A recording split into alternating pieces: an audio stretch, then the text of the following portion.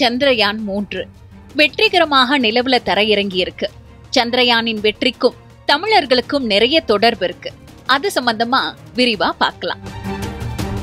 விண்வெளித்துறையில சாதனை படைச்சு உலக நாடுகளோட கவனத்தை ஈர்த்துள்ள சந்திரயான் மூன்று மூலமா வலிமையான இந்தியான்னு இந்தியா தன்னை நிலைநிறுத்தி கொண்டிருக்கு.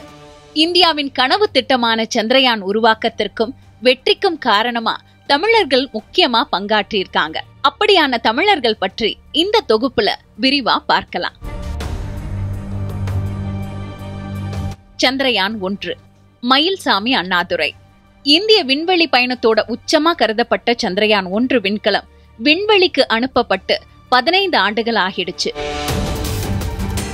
நீண்ட தொலைதூரத்துல இருக்கக்கூடிய நிலவை விண்கலத்தின் வாயிலா அங்குலம் அங்குலமா ஆய்வுக்கு உட்படுத்தி அறிவியல் திறனை இந்தியா பெற்றிருந்துச்சுன்னு உலகமே உணரும் ஒரு நாளா சந்திரயான் ஒன்று விண்ணில் செலுத்தப்பட்ட நாள் அமைஞ்சது. இத்தகைய பெருமையை இந்தியா படைக்க காரணமா இருந்தவர்கள்ல முக்கிய பங்கு வகித்தவர் தமிழ்நாட்டை சேர்ந்த மயில்சாமி அண்ணாதுரை. நிலவு மனிதன் என்று அழைக்கப்படும் மயில்சாமி அண்ணாதுரையின் திட்டத்தினால் வடிவமைக்கப்பட்ட சந்திரயான் ஒன்று விண்கலம்தான் நிலவில் நீர் இருப்பதை கண்டறிந்து இந்தியா சாதனை படைத்தது. சந்திரயான் இரண்டு.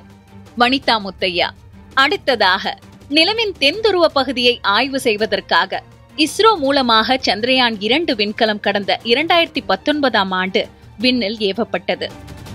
திட்டமிட்டபடி தொண்ணூத்தி ஐந்து சதவீதம் சென்ற சந்திரயான் இரண்டு இறுதி நேரத்துல தரையிறங்குறதுல ஏற்பட்ட கோளாறு காரணமா தோல்வி அடைஞ்சது.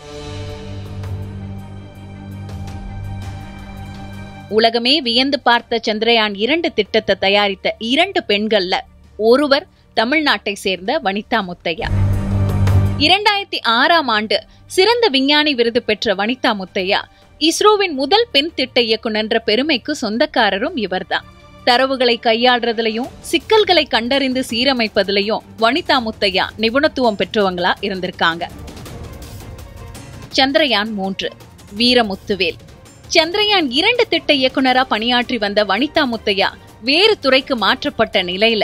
கடந்த இரண்டாயிரத்தி பத்தொன்பதாம் ஆண்டு சந்திரயான் மூன்று திட்ட இயக்குனரா தமிழ்நாட்டின் விழுப்புரத்தை சேர்ந்த விஞ்ஞானி வீரமுத்துவேல் நியமிக்கப்பட்டார்.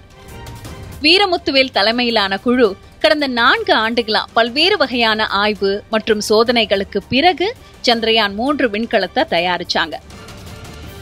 குறிப்பா சந்திரயான் இரண்டு திட்டத்துல ஏற்பட்ட கோளாறுகளை கண்டறிஞ்சு அதனை இன்னும் மேம்படுத்தி சந்திரயான் மூன்று விண்கலம் தயார் செய்யப்பட்டுச்சு. மெய்நிகர் தொழில்நுட்பம் மற்றும் மென்பொருள் குறித்தான ஆய்வுல ஆர்வம் கொண்ட வீரமுத்துவேலோட முழு ஈடுபாட்டில் சந்திரயான் மூன்று தயாரிக்கப்பட்டு விண்ணில் செலுத்தப்பட்டுச்சு.